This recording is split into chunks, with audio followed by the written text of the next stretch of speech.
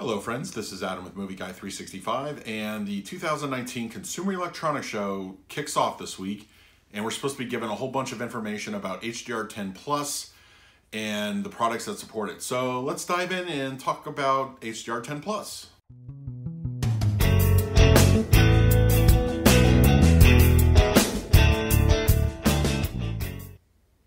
If you're new to the channel, please hit that like button, subscribe, hit that bell notification. I put out videos every single day you can also find me over at Twitter at MovieGuy365. So yes, 2019 Consumer Electronics Show, or CES as it is called, kicks off tomorrow, uh, January 8th. And pretty much this is the official slash unofficial launch of HDR10 Plus. Now, what is HDR10 Plus? Now, if you are a, a fan or a collector of the 4K format, you probably understand what HDR is. And how it benefits what we see on the screen. Now, it's not just enough that we get uh, uptick in resolution between Blu-ray and 4K. While there's noticeable differences, there are certain 4K discs like Bad Santa 2 and Hotel Artemis that are just straight 4K. They do not support any kind of HDR. So while it's a noticeable uptick, it's not something that's going to necessarily knock your socks off. Now where HDR comes in as well as the competitor Dolby Vision, which I'll talk about a little bit more in a few minutes, is it enhances the color gamut. Uh, we get a brighter, more vivid uh, color scheme overall. And now typically a HDR picture in itself is a beautiful thing to look at. You get things that, uh, like your colors, um, certain aspects of what's happening on the screen are just enhanced greatly uh, just like color timing. I mean, mostly things like, I'll use, you know, Star Wars as, a, as an example, where, you know, lightsabers and, and uh, laser blasts have a noticeable pop in their color. They look uh, a lot more alive and vibrant. Now, what we also have is the competitor, which is Dolby Vision, which is supported by several studios and continues to be supported in the 4K format. Now, there is differences between the two. HDR was the beginning standard, and Dolby Vision came in as kind of like an up resolution to increase uh, at a 12-bit uh, color scheme. So what we get is noticeable upgrades to the upgrades, if that makes any sense at all. So while HDR does have a beautiful picture, you are getting a slight bump up with Dolby Vision.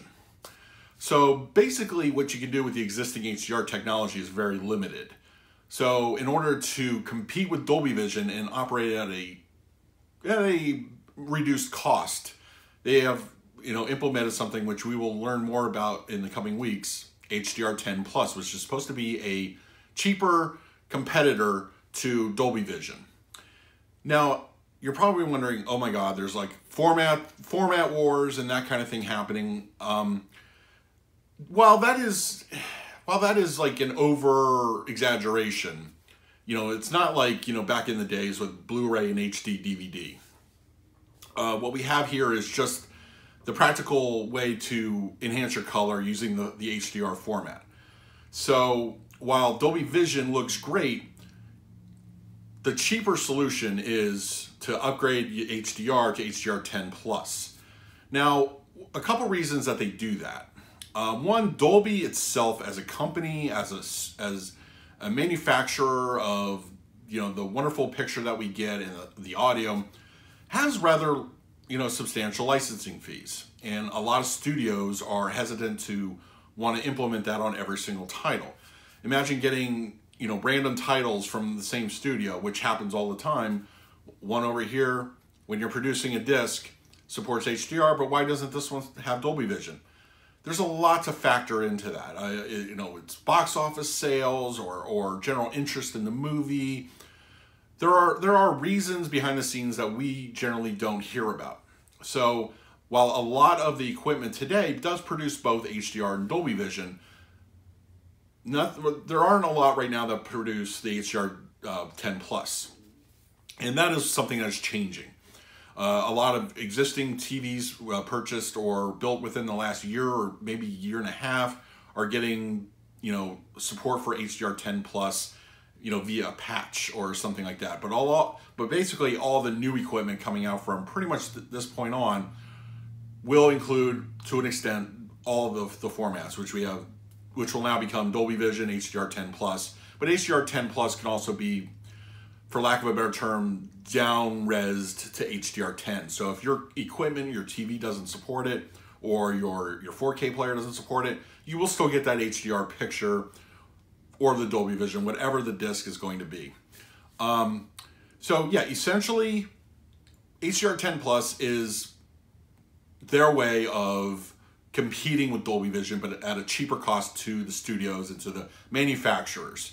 You want it is a rival picture. We don't have exact comparisons, but supposedly since Dolby Vision does operate at a 12-bit, you know, for their color, you know, uh, gamut, um, HDR10 Plus will still operate within a 10-bit, and I think that the, basically you're going to go from HDR to Dolby Vision. HDR10 Plus will essentially close that gap. That's that's pretty much where it's going to go.